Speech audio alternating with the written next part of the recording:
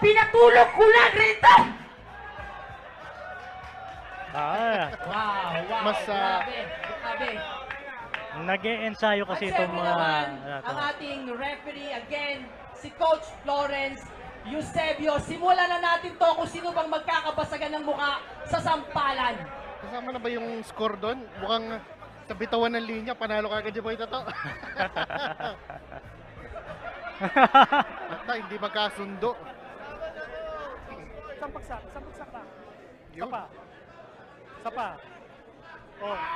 Gusto mo mauno? So, mo- So ang nanalo, siya ang mauunang sasampal. Or may, may meron siyang ano, decision niya. Mm, mm. Kung siya ang mauuna o siya ang magpapasampal muna.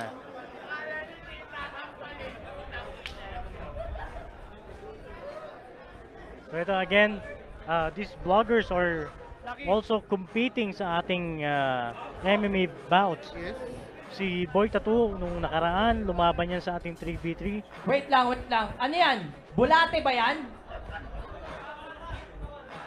Bulate, kakain. Meron siyang orasyon, kakain. Oh! Meron ng bulate. Iba yata to ah.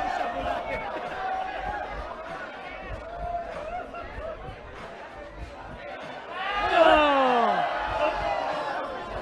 Pasintabi po sa mga naghahapunan ngayon. Pasensya na. Hindi rin namin inasahan na may kakain ng bulate.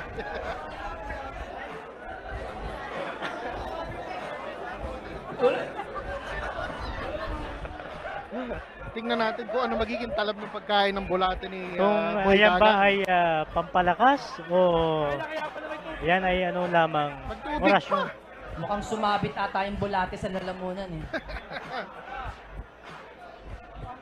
Okay. Ah, si Boy Tattoo ang unang magbibigay ng kanyang slap sa first round. Okay na, nalunok mo na ba yung kinain mo? Ah, question is, Bulak, bulak sa tenga. Kabila. Ah, okay ano na ang isa? matutulog